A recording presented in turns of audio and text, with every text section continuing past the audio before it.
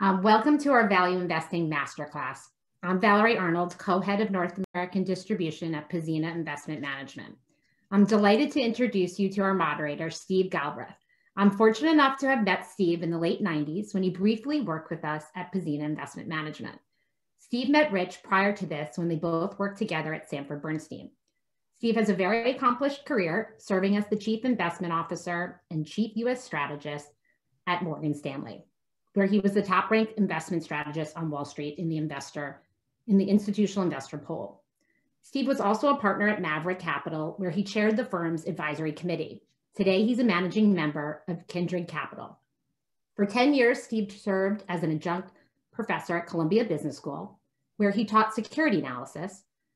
And today, Steve chairs the board of directors of Success Academy and serves on the board of his alma mater, Tufts University, and on the board of our firm, Pzena Investment Management.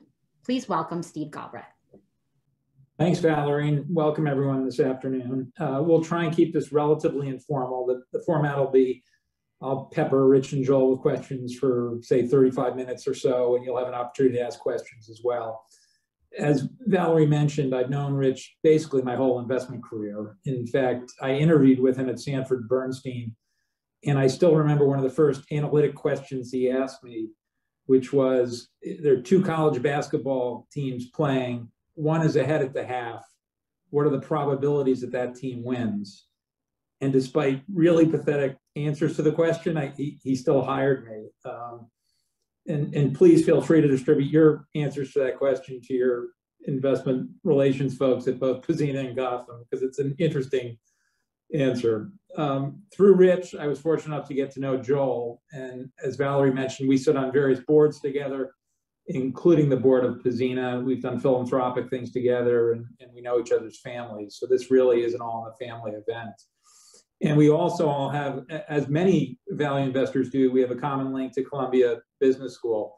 I was an adjunct there for a decade, and, and one of my students actually now works for Warren Buffett uh, and, keen judge of talent I am, I think I gave him a C in the class.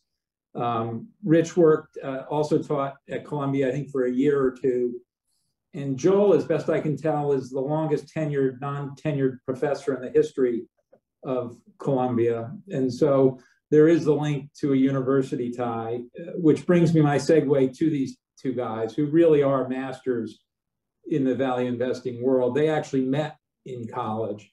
And I thought it might be nice to set the stage, Rich and Joel, if you could maybe just give them, the audience, uh, a few minutes on how you met and, and showing a, a fierce precociousness. You actually worked on something as college undergrads, I think, or maybe MBAs, that got published in the Journal of Portfolio Management, which I think it, to this day may be a first and a last. But if you could maybe just uh, let folks know how you met each other, and we'll take it from there.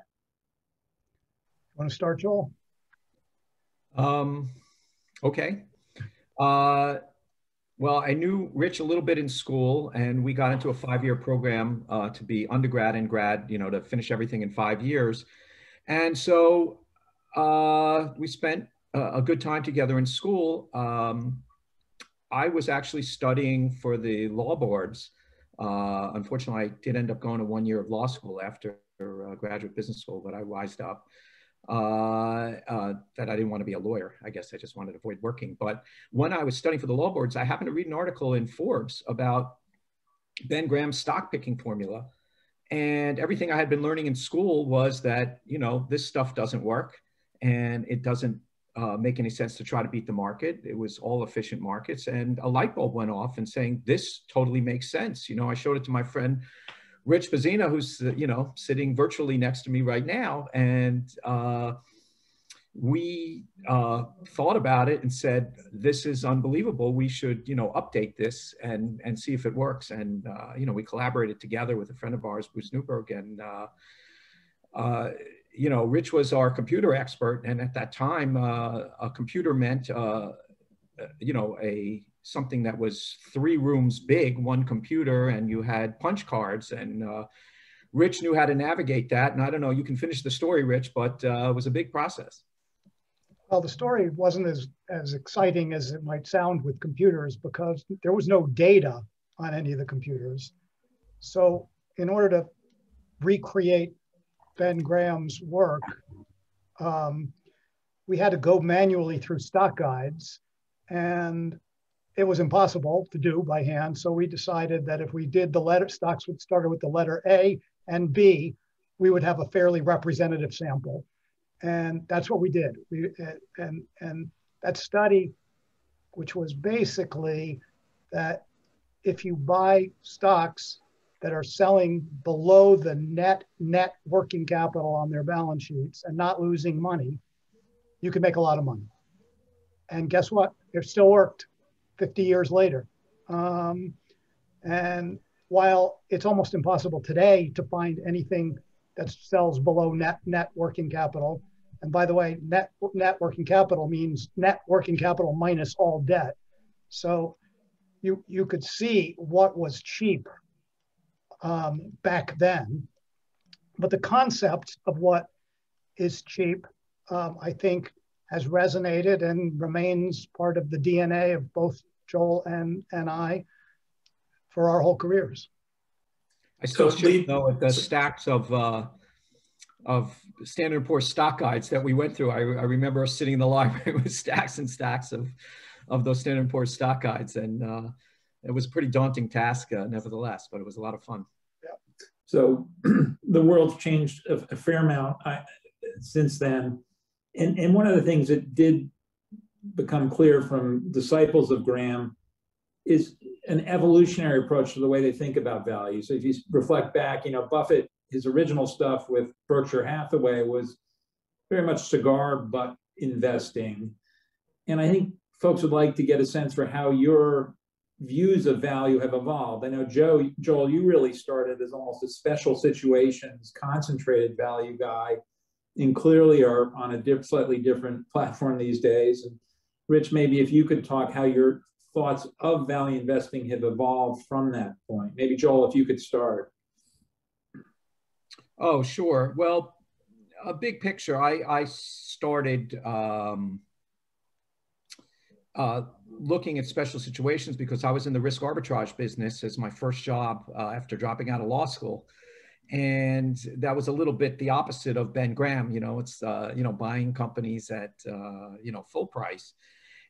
Uh, and I, I, basically hated the business. Uh, you know, it was sort of make a dollar or lose 20, you know, if you were wrong and, you know, up one, down 20 didn't, just never appealed to me as a risk reward. And so I was always looking for ways to get out of the risk arbitrage business. So I was looking around the corners at uh, various special situations and, uh, uh, you know, uh, interesting uh, securities that fell off the back of mergers or stub stocks or companies that are being recapitalized, anything that was a little bit complicated.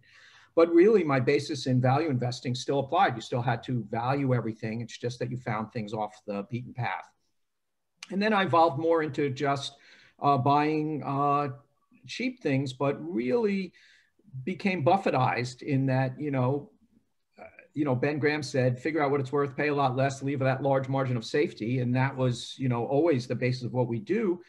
Uh, Buffett said, well, if you can buy a good business cheap, even better. And so there are certain qualities that Buffett's very clear about uh, that make a, a, for a good long-term business. And so we incorporated both those thoughts. And uh, I ended up uh, actually just, you know, you were talking about the uh, Ben Graham paper we did in college together. Uh, I actually was so intrigued by, you know, what I had been teaching my students for many years, what we had used to make money at Gotham for so many years in the early 2000s. I actually went back and, and tried to do a study showing that, you know, Buffett's concept of good and cheap also worked. And the very first test we ran, I ended up writing a book called The Little Book That Beats the Market About. And so we didn't spin the computer thousands of times. We said, let's use a crude database. Let's use crude metrics for cheap and good.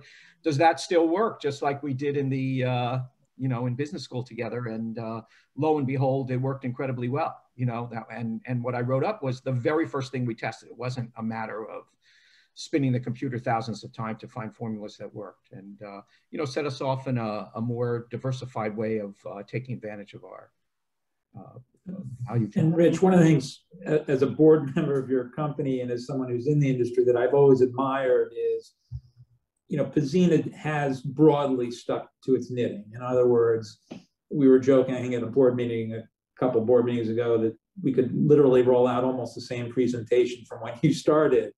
Um, but there has been some nuance to your approach, particularly on the risk management side out of 2007, 2008.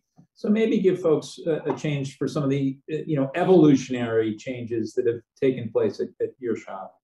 Yeah, well, let me. I'm gonna. I'm gonna go back even a little further than that because it took me a little longer to evolve on the quality metric than it did Joel. He's just a faster study than I am. Um, and you know, I was at Sanford Bernstein where I was still steeped in this idea that whatever you can buy that's cheap, you should buy, um, which is sort of the original work we did. We didn't, on our paper back in college, we didn't think about quality metrics. Um, and I had uh, been at Bernstein for 10 years, and Joel said to me, why don't you try and look back at that 10 year record? I don't know if you remember this, Joel, but look mm-hmm. back at that 10 year record and, and veto the one third of the stocks that had the lowest long term ROE.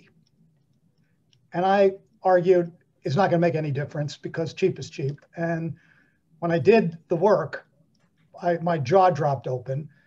Um, and since then, I've come to appreciate maybe um, I recognize that you can't buy the highest quality stocks using traditional metrics at cheap at, at cheap valuations. But um, if you eliminate the lowest quality, you can certainly add a lot of value to a value philosophy. So I would say that was my fir first big lesson and and evolution in value investing. The, the, the second for me, and there are two only two substantive ones, it, it is excess financial leverage and um, value investing are not good bedfellows.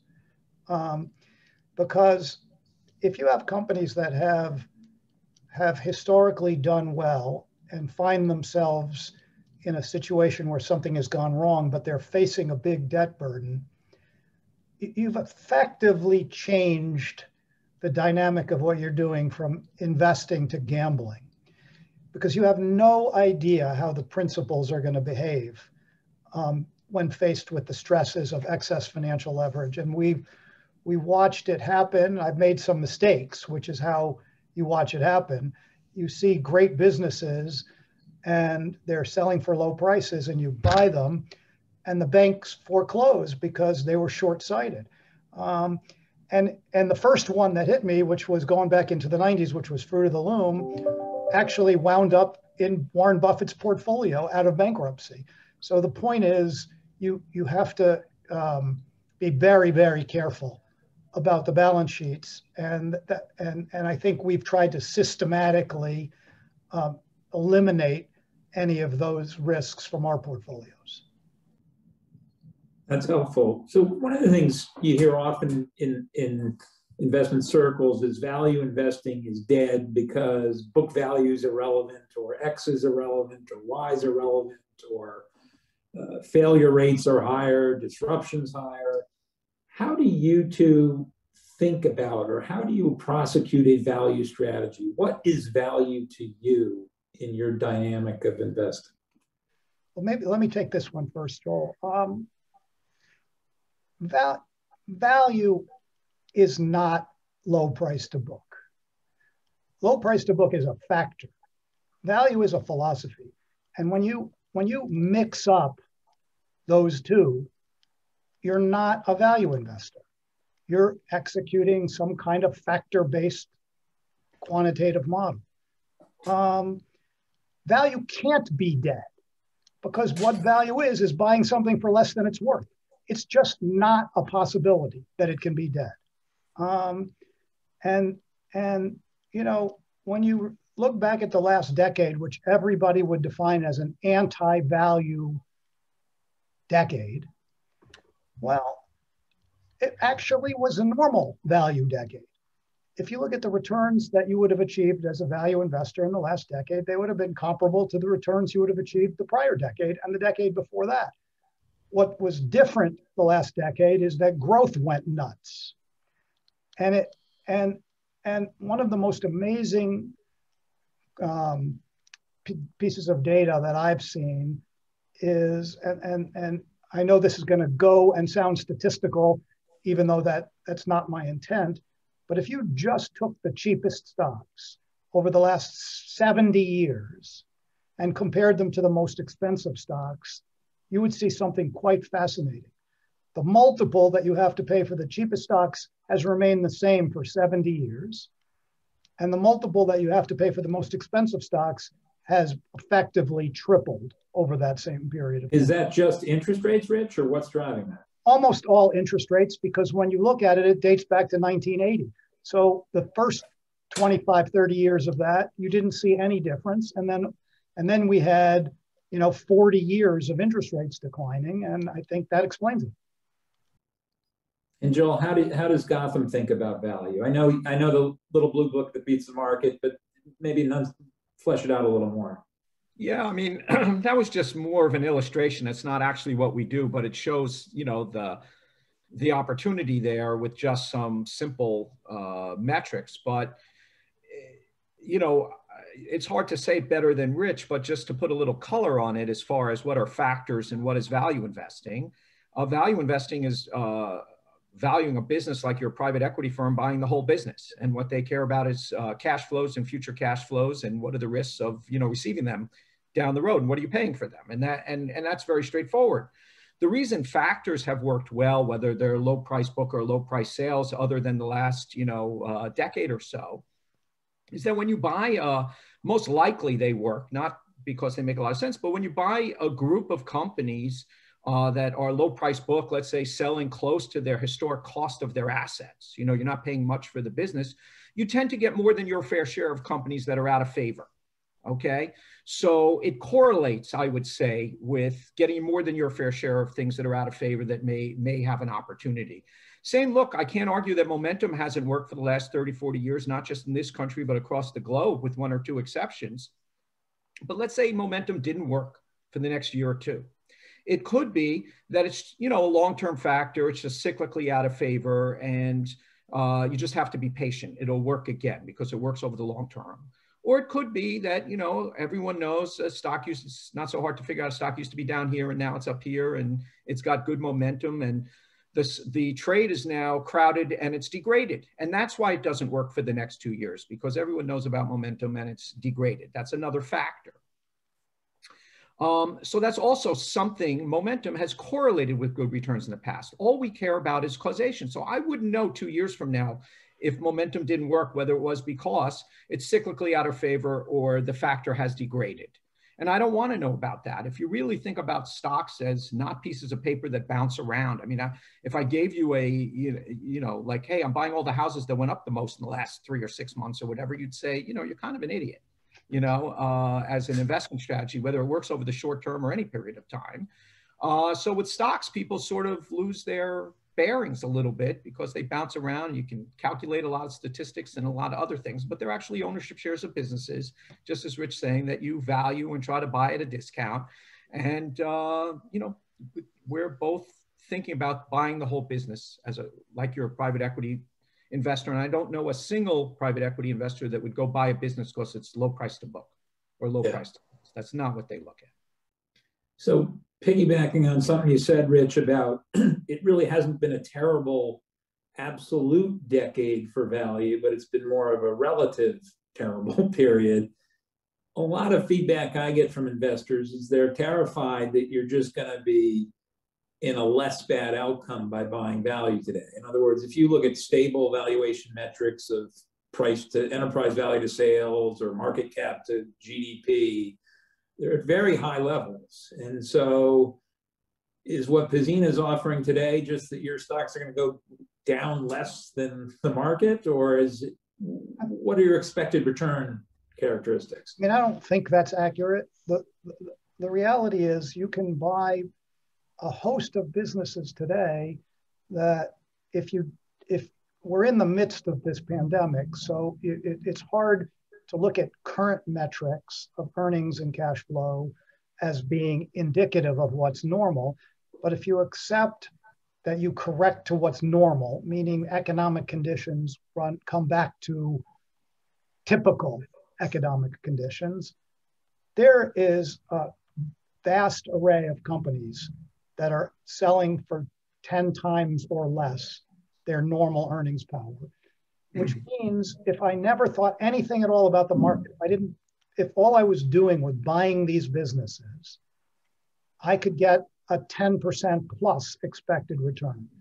And if you also if you also believe that these companies, broadly speaking, will grow with nominal GDP long term, you're talking about teens expected return.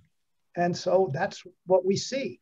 Now, when you compare the when you compare broad economic statistics like enterprise value to economic activity, it's highly, highly skewed by the companies that have have there's giant companies in terms of market cap that have seen their multiples expand broadly and that's driving that so i actually think if i was going to bet what we would earn the next decade or the next and i'm going to use decade because any shorter investment period in equities is just idiocy um, I would think we would average better than 10% a year from the starting point today.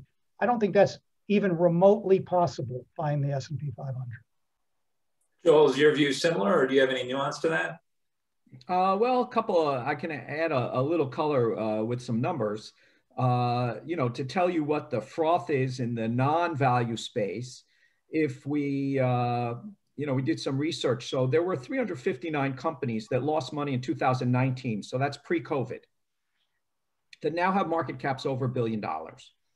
So in other words, if you just bought every single company with a market cap over a billion dollars, 359 of them that lost money in 2019, in 2020, the median return was 65%. The average return was 120%.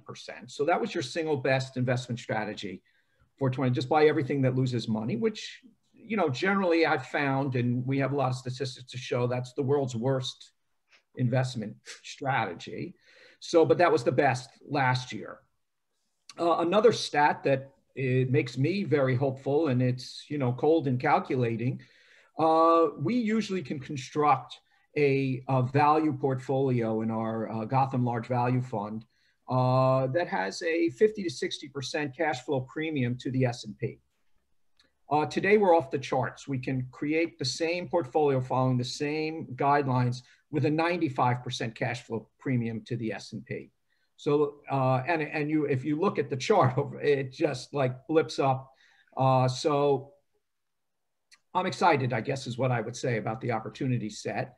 Uh, what, what I, at least on a relative basis, on an absolute basis, you'd have to tell me where interest rates are going and a number of other uh, items to let me know. But uh, you know, we're, we're tasked in our long-only portfolios of not telling you how long you should be. We're tasked with saying, hey, for this portion of the uh, stocks of of your portfolio you want to put in the market, what's the smartest way to do that? And that's the solution we're trying to reach. And that opportunity set is great for us. Whether it's absolutely cheap, uh, I think we can get very good returns, as Rich was saying from here. Uh, and, and I don't think if you had blinders on, look, this is a very smart way to make money way above the risk free rate. We have that opportunity to do. If someone wants to pay for rides to Mars uh, at, a, an astronomical view and, and that strategy beats us, that's really out of my comfort or knowledge zone. And it's possible that it does, but that's not really relevant to me. Uh, I view it as, you know, can you put money to work that makes uh, way above uh, risk-free rate return. Uh, is the opportunity set there? Yes. Is it much better uh, versus history, uh, that opportunity set versus the S&P than it's traditionally been? Yes. So both those things are exciting. So one of the things that's, and I know you guys are both deep fundamentalists at an individual company level, but so much of the setup today seems to me, or it strikes me, is predicated on just uber low interest rates. And that just has such a skewing impact on long duration assets, which some of these really nutty equities are. How do you factor, how do you think about interest rates and their importance in your portfolios today? Rich, maybe if you could kick off. I don't really because I have no idea. Um, it's, you know, uh, to me, investing is about looking at what likely future cash flows are. Um, guessing where interest rates are going to be is, I use the word guessing because I don't even have a basis for how to think about it. When interest rates are close to zero, it just feels to me like the probability is higher that they're going to go up than they're going to go down. But I don't think there's a lot of brilliance in that statement. So if I can create a cash flow stream that I'm reasonably confident is going to give me a yield, a cash, a total return of in excess of 10% a year, I'm mostly indifferent what happens to interest rates. Um, yes, you might value that cash flow stream at a lower rate some point in the future, but the biggest factor that you uh, that you mentioned earlier in why the S&P and the growth stocks of the world have, have, have ballooned in valuation out of control, it's not because of low interest rates. It's because of falling interest rates. And so when, because that's what creates the tailwind to valuation. As soon as the interest rates stop falling, all you have is the yield, the cash flow yield of the company.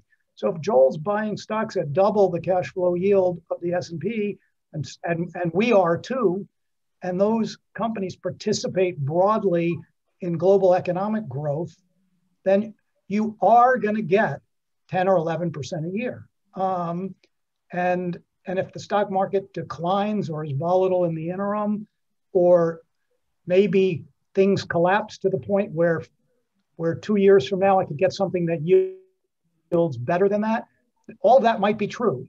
But my options today are to invest in something that can give me 10, something that can give me far less than 10, or buying a treasury, 10 year treasury that gives me one and a half. Those are my. Options. Before I flip it to Joel, Rich, maybe if you could tease out a little bit, you obviously have a large percentage of the portfolio in financials, and interest rates do have an operating impact on them. Maybe if you could give folks your view on that well, specific part of your portfolio. Yeah, I mean, if you think about the value of a bank, uh, and I'll use banks primarily for my, my for my explanation. Um, banks are the value of a bank is related to their deposit gathering franchises because that's that's what the franchise is. It's the ability to acquire funds below market. Now, when federal funds are zero, it's extremely difficult for a bank to make any real money. It has to rely on interest rate spreads um, on its loan versus deposit business. But that's not what gives a bank value. What gives a bank value is its, its deposit franchises at below market rates. So if interest rates go up, and now I'm talking about short-term interest rates, because this is what's going to drive value, franchise value. If interest rates go up to 1%, Fed funds go up to 1%, then bank earnings, all other all else being equal, will go from low teens ROEs to high teens ROEs. And if they go up much above 1%, there's no evidence that they that they keep that. They then start paying higher deposit rates. So to me, um, bank profitability will rise in a rising interest rate environment. And that is a, a nice hedge against valuation change. And Joel, maybe if I could flip it to you, but broadening the question out, not just interest rates.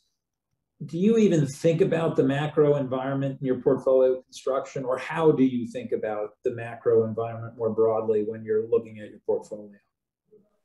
Well, one of our assumptions is that uh, when Rich said he didn't know, you know, what was going to happen in the macro environment, I call him to find out what's happening in the macro. so, anyway, uh, big, big picture.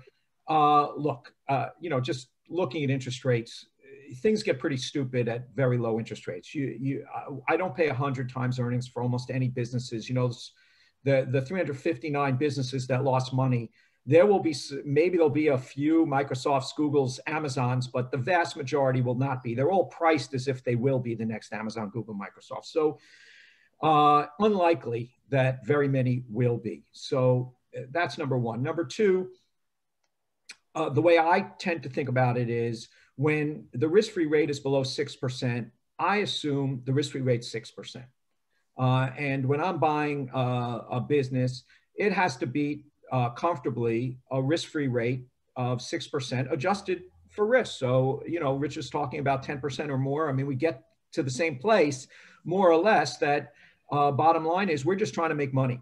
You know, if we put blinders on and say, look, let's evaluate these investment opportunities, what kind of reasonable return can I get from this?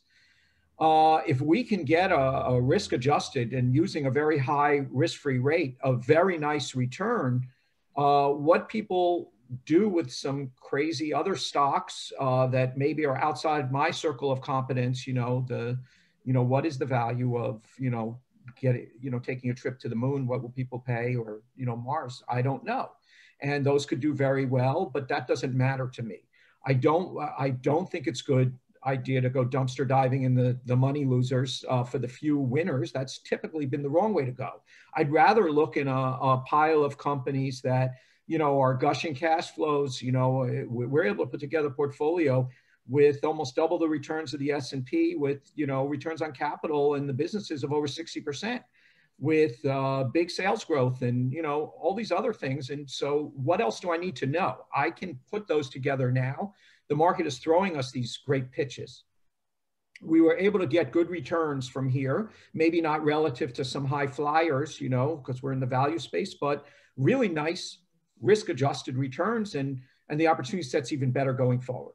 And I would say there's froth in some of the other areas. And I'm not talking about Google, Amazon, Microsoft. You know, those are some of the greatest businesses and franchises and networks that I've ever seen. So they may well and, and we think justify their prices over time. But there are not hundreds of other companies that rhyme with Google, Microsoft, and Amazon, and they're all priced as if they will. And that's where I think the froth is.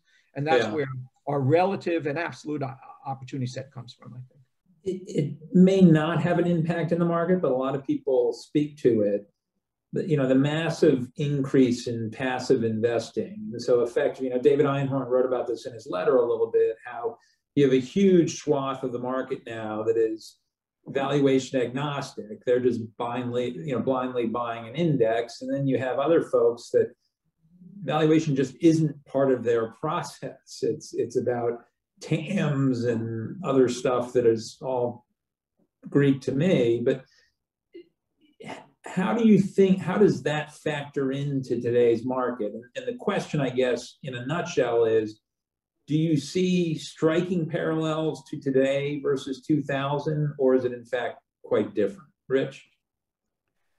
No, I think they're striking parallels. Um, I, it's the, the same phenomenon, which is if if the things that have have massive market cap, and I and this is an interesting statistic because the um, the the Russell 1000 value and the Russell 1000 growth are equal market caps. So to get equal market caps, you have to have so many more stocks by number in the value benchmark than you do in the growth benchmark. So if somebody decides to switch, um, it's very easy to see how the gap narrows because you're taking a lot of money and trying to deploy it in a little space. Um, that's exactly what happened. I mean, when we first started, I'll just tell you the history of Pzena Investment Management, but when we started um, in 96, we soon were in the internet bubble. And from, from 98, from the fourth quarter of 97 to the first quarter of 2000, we wound up being 6,000 basis points behind the S&P 500 as a new firm. You know, you just sort of say, okay, let's just go home. What's the point of even coming to work anymore? And nine months later, we were ahead of the S&P 500. And that happened with a down 20% on the S&P and an up 40% in our portfolio because some of the money that came out of the S&P tried to go into our stocks. That's what happened. So that's what happened in the fourth quarter again, and it's happening. It's happening again this year. Um, I got to tell you, I'll just tell you one one quick story. Um, earlier this week, I got an email from an acquaintance who said, "I'm on the board of a 750 million dollar endowment, and we realized we need some more money in value. We're going to skip all the formalities of having you meet our staff. Can you just come and present to our committee for 20 minutes so we can start up with you on Friday? So I, I, I, I, I thought to myself, wow, it's been 20 years since we got a call like that. Tough one to top, Joel. What do you say? Yeah, no, uh, I, I'll just go with statistics. Can't beat Rich for much else. So um, I will just say that, uh, you know, I started Gotham Capital in 1985. Uh, we made money every year uh, until 1998, you know, in the internet bubble. And we lost 5%, which was ugly because the market was up 26%. It was a more concentrated portfolio at the time, but still, you know, very value oriented, uh, you know, same philosophy we've always had. 99, uh, market was up another 21 points. We were down five again, second year of losing money. Uh, 2000, and, and by the way, I was teaching at Columbia at that time. I started in 96, and, you know, the kids were more or less chucking erasers at me saying, you don't get it, you know, whatever it is. Uh, in 2000, market was down nine. We were up 114%. Okay. So it wasn't that uh, we were idiots. I, at least I believe we weren't idiots in 98 and 99. All, all of a sudden became geniuses in 2000. Uh, in 2000, we just finally got paid for all the work we did in 98 and 99, laying the groundwork, uh, you know, with these great opportunities. And so down five, down five, up 114. It's not a comfortable, you know, in the face of the market going the other way, not a comfortable ride. But, you know, I, I all last year I was saying, I don't think this rivals it's not as crazy as the year 2000 but of course uh, there are certain things that have even happened this year that uh, i'm not going to say that. I'll just say there are a lot of crazy things that were happening in parallel then and that are happening now that are maybe uh, at some point like you know if it can't continue it'll stop. And and so yeah. i think hopefully we're uh, you know getting close. So I've been reminded to ask the audience to sending questions with the Q&A button. They're coming in and I'll hopefully get to them. Um, as you guys know, I'm a trustee at Tufts and I chair the investment committee and we just went through an unbelievably um, torturous process on fossil fuel divestiture and ESG more broadly. And I think historically I've probably been pretty dismissive of a lot of these efforts, but I can tell you from that seat that it is different in many ways and it probably was 20 years ago. And so I'm no longer as cavalierly um, dismissing that as part of the investment environment. How, how do you incorporate ESG broadly into what you do, Joel? If at all, maybe it's just not even a factor.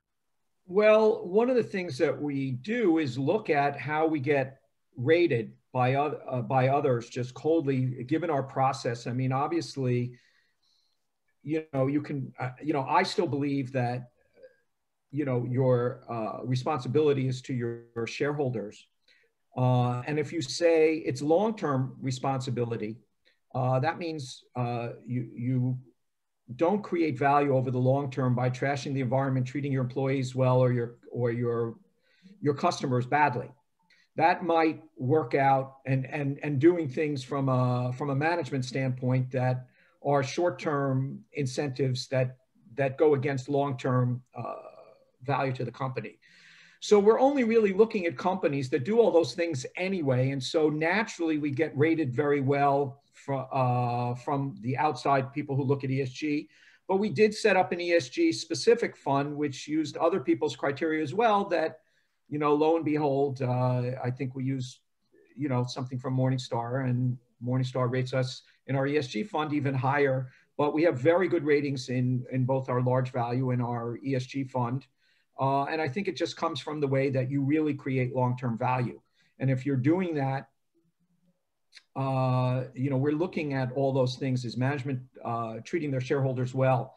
Uh, is are they creating value for uh, the business? Are they investing well uh, and and efficiently? And so, uh, it I think it's almost an output of our process rather than an input. and so, we have something that goes even more extreme, but it, it's not a material difference. And so, I agree with you, Steve it's becoming very important to people. And I, I think incorporated in our philosophy, uh, even though I didn't think about it that way, uh, it, it, works out to be an output of, of the way we do things. And Rich, if you can answer the same question, and also look, you're the CEO and chairman of a public company, and we do talk about it at the board level, but maybe through the, the lens of both an investor and a chief executive officer. Look, from, from an investor's perspective, even though we five years ago never even knew the words ESG formally, um, we were doing effectively the same thing that we do today, focusing on substantive investment issues that determine whether a stock is interesting or not interesting. So if there's an environmental issue, for example, obvious one is carbon and, and and owning oil and gas stocks. You can't be rated highly if you own oil and gas stocks on from third-party raters because carbon is generally just viewed as bad. Um, however, if you're trying to make an investment in an oil company, you'd almost have to be an idiot not to consider the sustainability of their business franchise, given what's going on in the world. But I, but I want to make an interesting point because BP a few months ago and Exxon the other day in their report to their shareholders, BP does an annual energy outlook.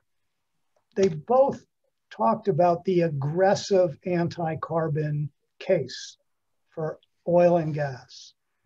And BP said that from now until we don't use hydrocarbons anymore, we have to invest another $20 trillion during the transition out of fossil fuels.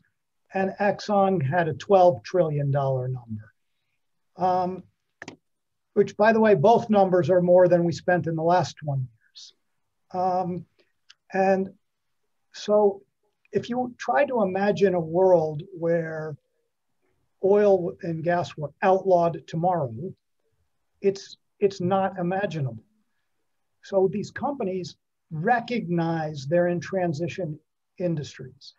And when you integrate ESG into your investment process, instead of specialized, specialty ESG, you know, people who say this is bad and this is good, if your oil analyst is the guy or woman, the man or woman that's thinking about um, the sustainability of the business model, the engagement that you have with CEOs of these companies is far more sophisticated. So, for example, we own Halliburton in our portfolios. They're the biggest North American fracking company. That's not a good word.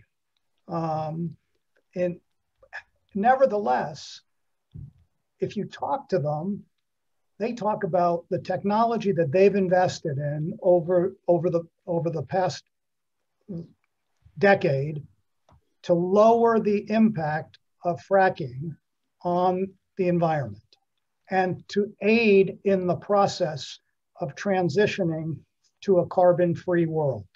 Now, maybe people will view that as a stretch. We actually view it as a real opportunity to understand and engage with a management team that gets it is positioning the company accordingly. And because there's so many anti-carbon people out there, giving us the opportunity to buy a stream of cash flows with a responsible management team that's going to generate high returns. And so for us, ESG is an integrated process. We've also done some research, which is preliminary, eh, but it does suggest that companies that improve on their ESG scores tend to outperform. And, and those that are starting from a low point and engaged in a process of improvement are likely to actually improve. So um, we, we, we think there's a way to actually not abandon being a value investor, but be cognizant of the issues of sustainability on a company's earnings.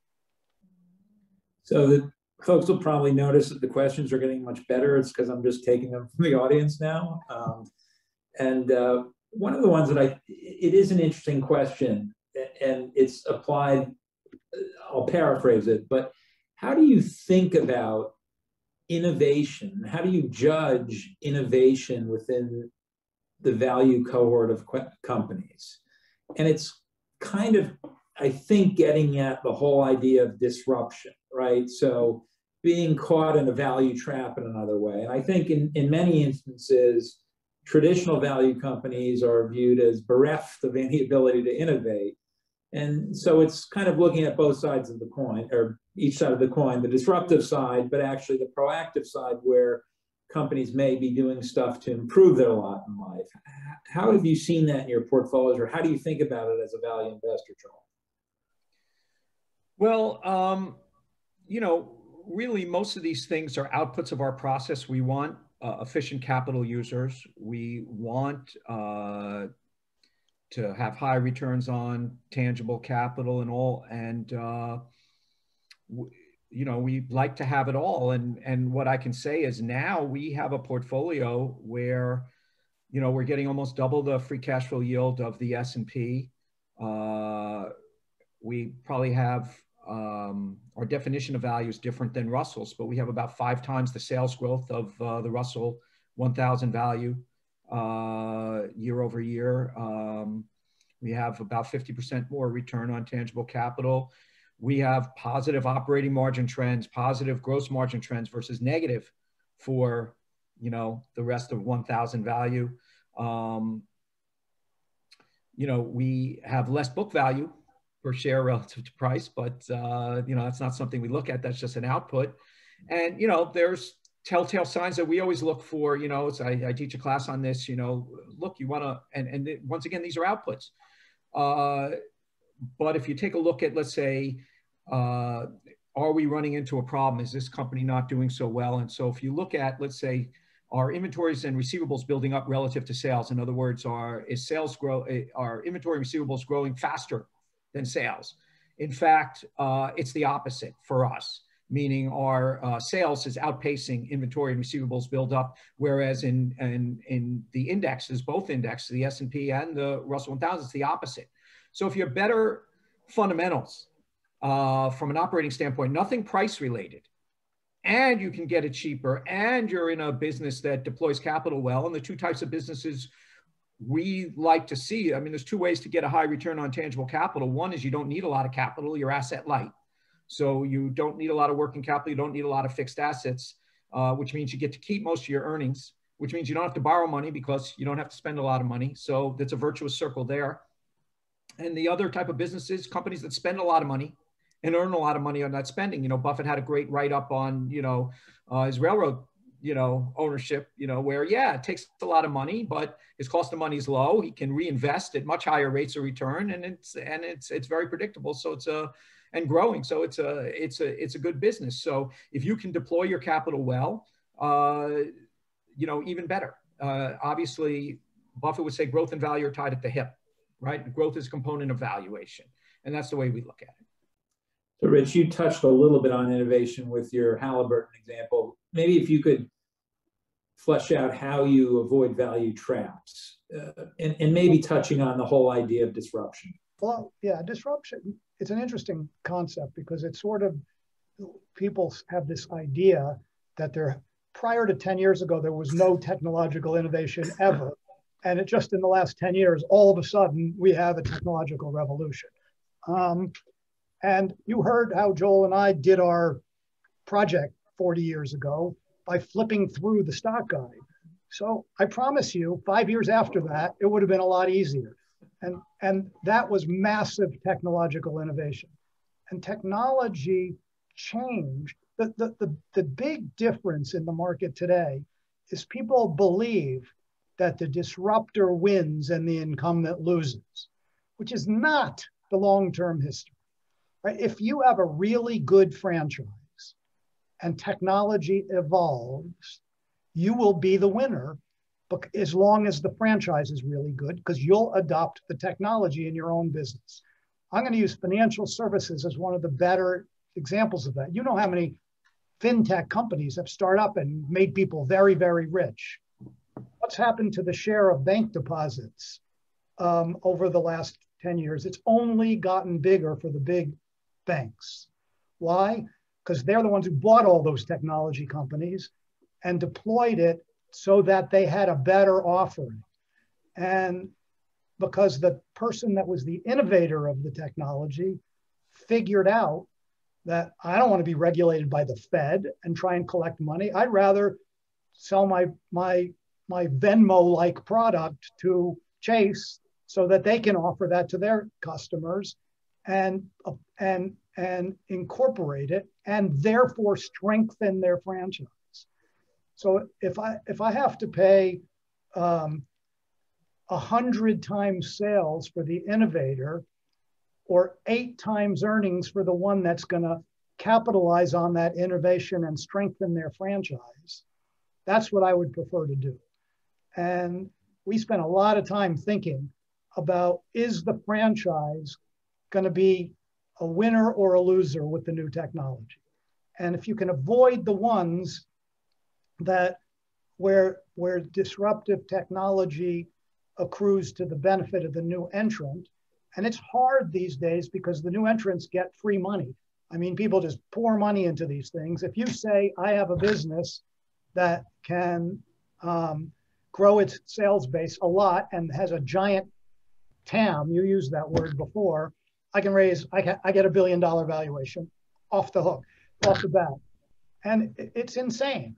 I mean, it's insane because the people that they're competing against, if you give some, it's easy to grow a business when you give something somebody for free.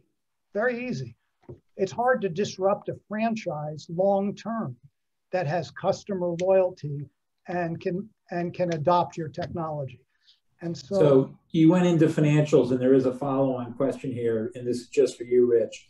And I've heard this many times over my career as well given the complexity of the banks today, and the somewhat cynical comment is the managements don't even really understand the businesses.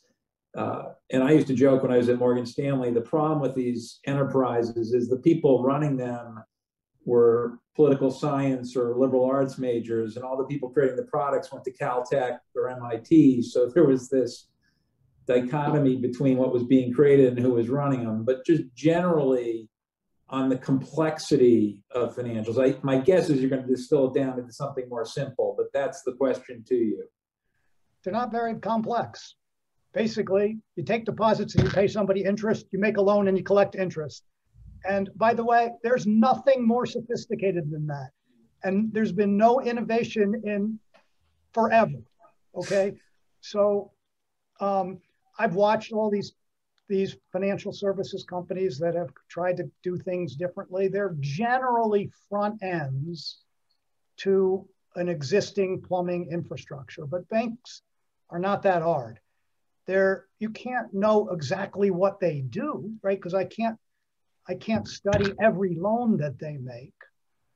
But if you ever looked at disclosure from a financial services from a bank, their 10Ks are like 500 pages thick.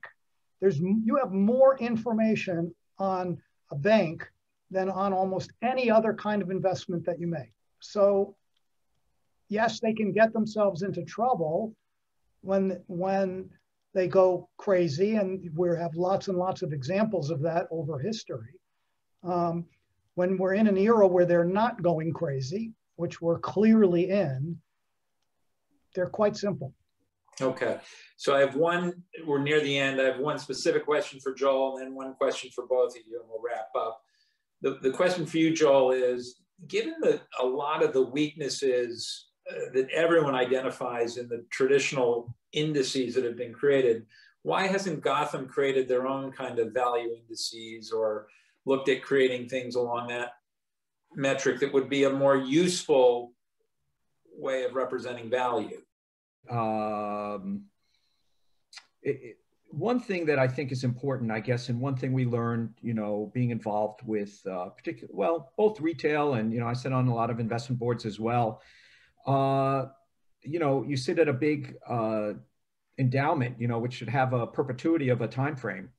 Uh, you know, the longest time frame of anybody. And there's still a guy who allocates to U.S. equities or real estate or whatever it is, and they still have a three-year benchmark. And so, for better or worse, benchmarking matters. And if you look at all the money flows from mutual funds and retail, basically it follows good returns. The money comes in after good returns, leaves after bad returns, and goes in and out at all the wrong times.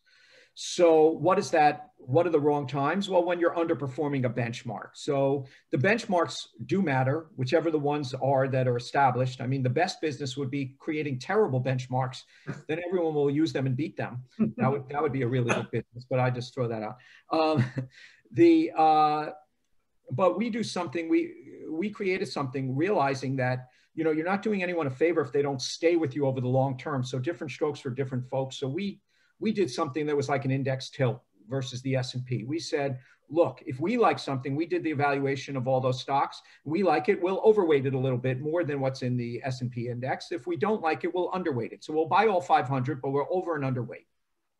So we created uh, actually our first ETF called the G-SPY, uh, you know, Gotham uh, S&P 500 index. And we just overweight and underweight the ones that we like or we don't like. But uh, the idea is low tracking error, but with a value tilt, you know, the way we think of value. And over time, uh, you may help the most, uh, you might help, help the most people because they'll stay with you over the long term. So we have the full on value in our large value. And that's, that's a great spot for people because I think, especially now, what a great opportunity. And that's the way we think about investing.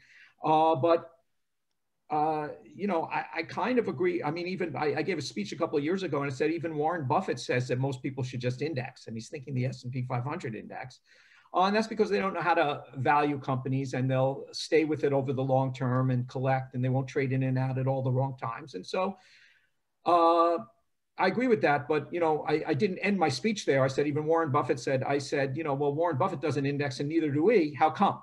You know, and because I think we have those opportunities. And but and about to that, we created uh, in a Gotham Enhanced S&P 500, which is a mutual fund and G-SPY. And so it's that's how we've and and I think that fits fits a need in the in the marketplace and and may make the most money for people who really have to live with those benchmarks. As to us creating benchmarks, we're just trying to make money. And uh, so I don't know what benchmark I would create other than creating a portfolio that makes sense to us. Great. So in one minute or less each, how are your portfolios positioned today sectorally? So what are the, where are your largest wagers? Joel? Well, uh, you know, we're underweight technology in our large value. We're uh, consumer discretionary industrials or, or, you know, we're overweight relative to the index there, you know, significantly. And, and those are the two underweights and overweights. Not that we don't like technology uh, or, or like technology, we have exposure there. It's just that we just bottoms up create something, and that's where it's leading us. Uh, we did do a lot of work research over you know a 30 year period looking do we make money uh, if you overweighted in a sector or industry group that is overweighted in our portfolio at the time and bought an ETF just in that industry group or whatever, did you make money? And it turned out you didn't uh, it turned out that all our alpha was idiosyncratic individual stock picking. So it, at least for what we do, not helpful uh, to uh, say, oh, we're overweight in this industry. Let's go buy the ETF in that industry because it must be cheap. It really has to, it's a bottoms up process that ends up where it ends up. We have obviously constraints and uh, to keep us, you know, in the right beta range. And, you know, we don't want to get too skewed uh, in, in one area or another. So there are limits, but the general idea is that we're bottoms up uh, picking because that's where all our alpha comes from. And Rich, I know you guys are profoundly bottoms up, but where has that led you to sector? We're, we're almost all cyclical, broadly speaking. So that includes financial services, energy, industrial cyclicals, consumer discretionary, um, and very little in in consumer staples and utilities and real estate. Um, it's it's uh, it's interesting. We're in an economic recovery, and earnings are depressed.